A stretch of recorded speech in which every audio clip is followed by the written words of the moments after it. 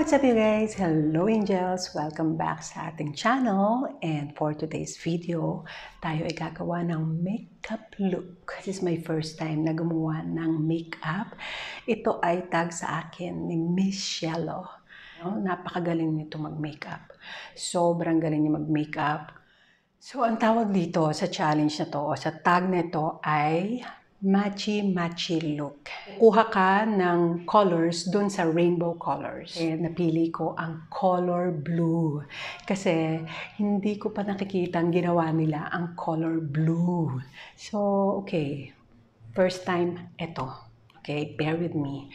At, syempre, may base na lahat, highlight and everything. Kilay, syempre, lipstick and eyeshadow lang ang wala. Bago tayo mag-start, disclaimer lang, hindi ako makeup artist. Nakahiligan ko lang talaga ang makeup. So, hindi rin naman ako nag-aral mag-makeup. Meron, nung, uh, nung unang panahon, nagmo-model pa ako. Medyo tinuruan kami ng pagme-makeup. Pero sobrang konting-konti lang. Parang basic lang tinuro sa amin. Tsaka hindi pa ako focus noon matuto sa pag-makeup kasi hindi ko naman talaga hilig noon na mag-makeup. And then, pero kailangan lang sa trabaho namin na kailangan matuto ka mag-makeup dahil ang aasahan mo yung sarili mo dahil minsan walang makeup artist, ganun sa mga shows namin. So anyway, first time ko rin gumawa ng makeup video and bear with me, angels. Ano tayo? Kasi basa pa yung buhok ko. Diba? Diba? okay. So, start na tayo. Lagay tayo ng primer. Lahat ng gagamitin ko, ilalagay ko na lang sa description box below kung, kung ano yung mga ginamit ko o pag naalala ko dyan ko na ilalagay.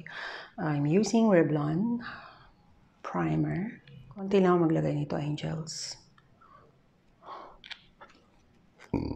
Excuse me.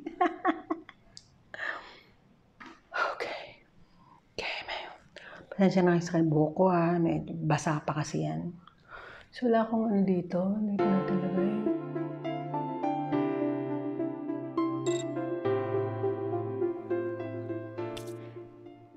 Spread natin ng konti. Konti lang.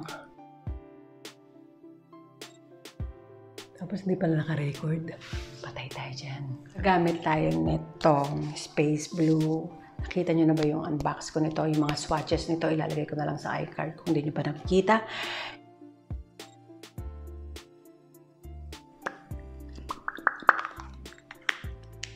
So, daldal ako ng daldal, hindi pala naka-on yung ano, yung, bi yung video.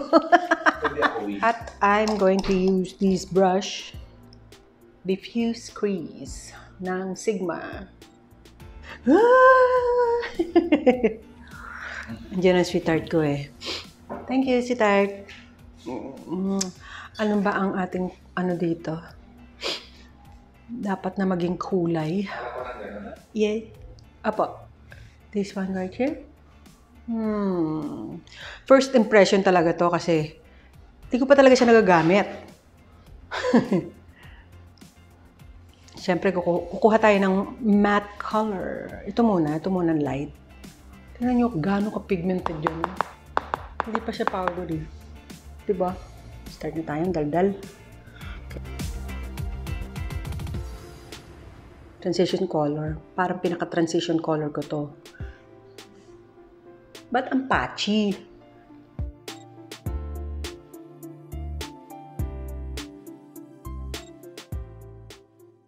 Tingnan natin kung anong mangyayari. Kung kaya natin i-work to. Ang patchy niya actually. Blending is the key.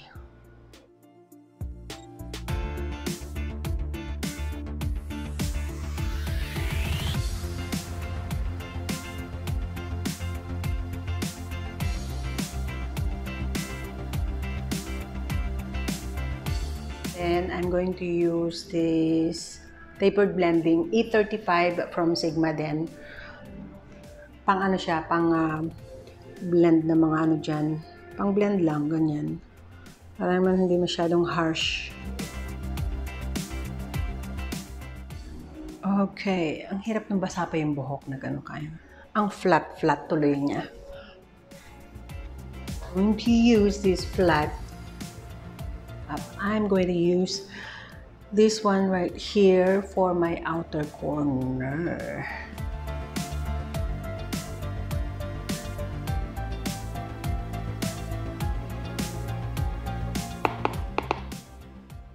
Naglalaro yung uh, sweetheart ko ng ano, sa computer.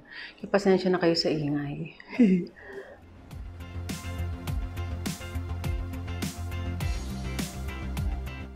Yan. Come on, girl. Give it to me, girl,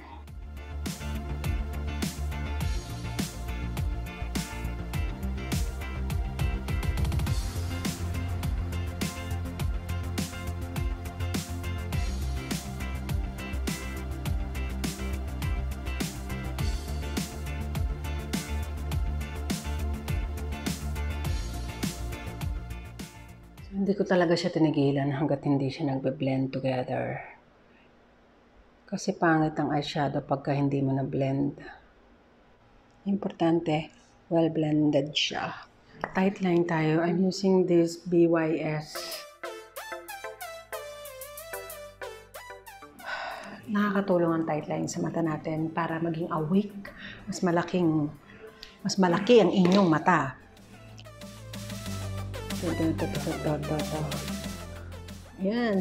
Tingnan niyo naman gano'ng kapigmented yan, di ba?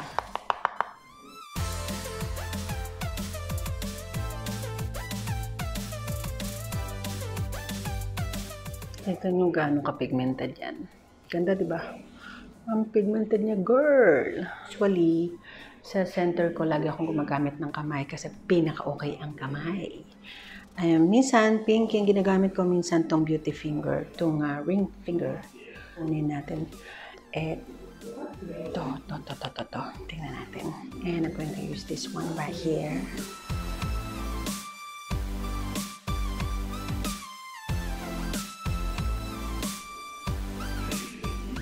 Ganda. Um, bare brush dito. Sa Real Techniques, asan ba yung tatak nito? Basta, Real Techniques yan. Real Techniques, girl. Yep. Hanggang ang kalat. Okay.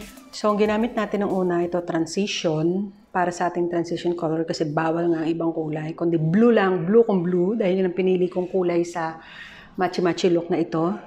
Ito ginamit ko, ito, and then this one, tapos ito, tapos ito naman ngayon na gagamitin ko.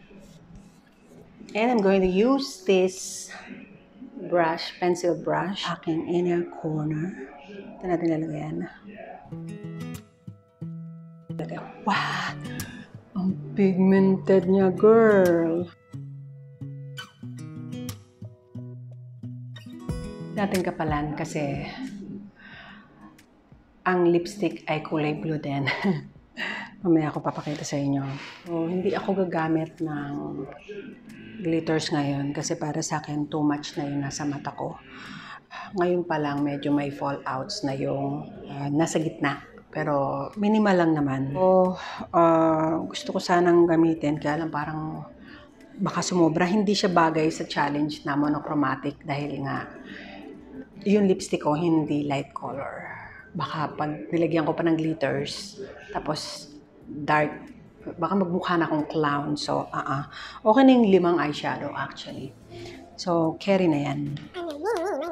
Ito gamitin natin na liner. Scandalized Brow and Liner from Rimmel London. First impression, bagong-bago lang siya, bili namin sa US. Sa Target o sa Walgreens. Nakalimutan ko na. Basta napakamura lang nito. May presyo ba to? Mahirap pala mag-makeup ng iisa lang kamay magana. Napaka-pigmented niya. Wow! Wow! Nice!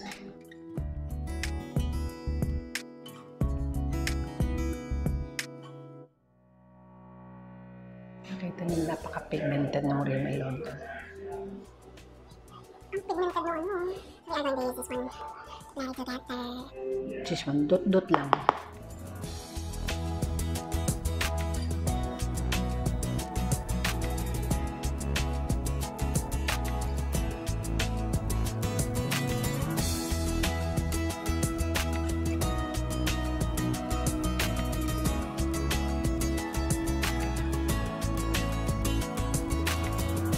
Ba ang gagamitin nating liner? Hindi ko alam kung pwede gumamit ng black. Ganda to gamitan ng black liner.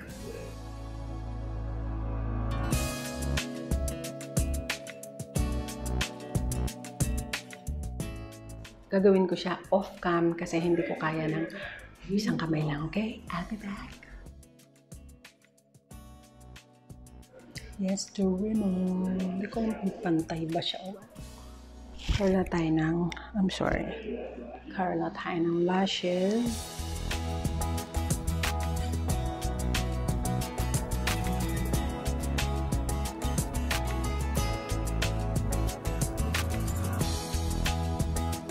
Blue IPYS. Hindi ko siya gusto. Gamit tayo nito. Ah, sa kapatid ni Anakay, meron siyang store sa Shopee. Lagay lang ako. Okay naman yung kinalabasan sa ano, no? Mata, di ba?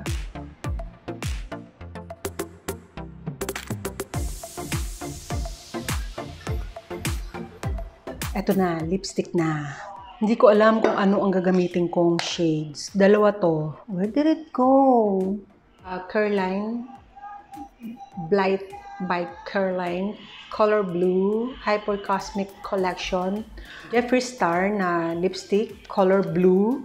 Shade niya ay nandiyan ang shades niya. Isang 111 tsaka isang Blue Bell. Blue Velvet. Okay. Nakasealed pa to. May nagbigay sa akin ito. Hindi ko to bili. Kasi nag-sale siya. Hindi ako makapunta. Kaya, hindi ako nakabili.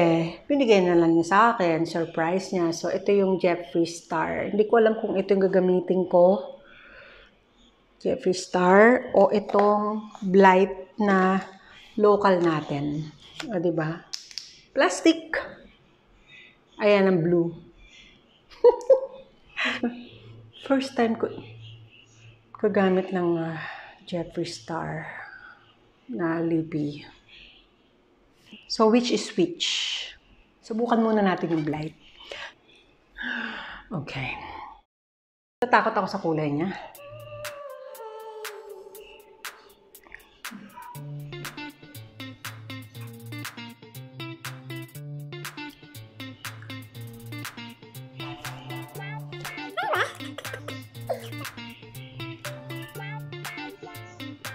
So, first time ko maka-wear ng blue lipstick. Try natin yung kay ano, kay Jeffree Star.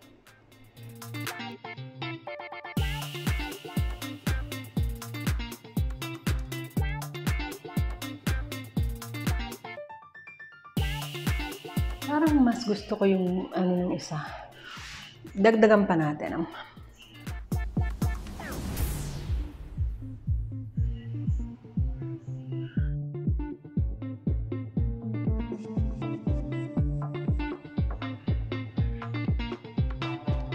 Parang mas gusto ko sa shadow ko ang blight na curline kaysa dito sa Jeffree. Kailangan lang ng konting linis dito sa baba. Kayo sa palagay nyo, ano mas maganda, ano mas bagay? Kay Jeffree Star o kay Curline? First time ko magkaroon ng Curline na lipis, bumili lang ako nung tinag ako ni Michelle. So, this is my first time na magkaroon ng Curline product. Okay siya, okay siya. At saka yung amoy niya, parang amoy kandila na hindi maintindihan. Basta ganun. Amoy. Tapos ito, kay Jeffree Star, ang amoy niya parang candy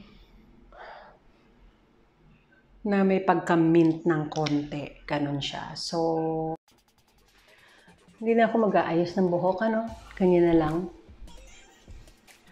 Tama na yan. First impression na rin to ng Delanchi palette. Ang masasabi ko sa kanya, napaka-pigmented niya. Okay siya. Namit ko nga sa shadow na to ay muna. Tapos ito. Tapos ito. Tapos ito. Tapos ito. Yun yung sunod-sunod natin ginamit. Pati sa uh, lower lash line, ito yata yung ginamit ko, tama? Yeah. Tapos yung Rimmel London na color blue. Hindi ko na siya masyado talagang kinapalan kasi alam ko ang magiging lipstick ko ay dark. So kung lalagyan ko pa ng something sparkling like this one, this one, this one. Itong tatlong to, kung mamimili ako dyan, maglalagay pa ako sa center ng lid ko. Masyadong OA na dahil yung lipstick ko nga ay makapal. So, yun lang naman ang ating ah, makeup. So, so this is my matchy-matchy look.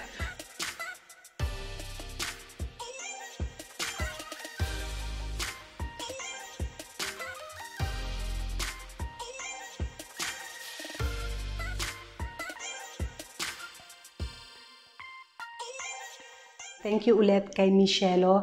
I-subscribe niyo siya. Tulungan natin siyang mag-grow dito sa YouTube. Napakagaling talaga ng babaeng to mag-makeup. Tingnan nyo, check nyo yung channel niya. Talaga napakagaling niya mag-makeup. Tulungan natin siya. Please, mga angels, tulungan natin siya. Okay? So, yep. Uh, yun lang ang ating matchy-matchy look. Sana ay nagustuhan nyo. And syempre, kung nagustuhan nyo, don't forget to give it a like. And see you on my next video. At yung mga tatag ko, ilalagay ko na lang sa description below kung sino-sino kayo, okay? See you on my next one. I love you all.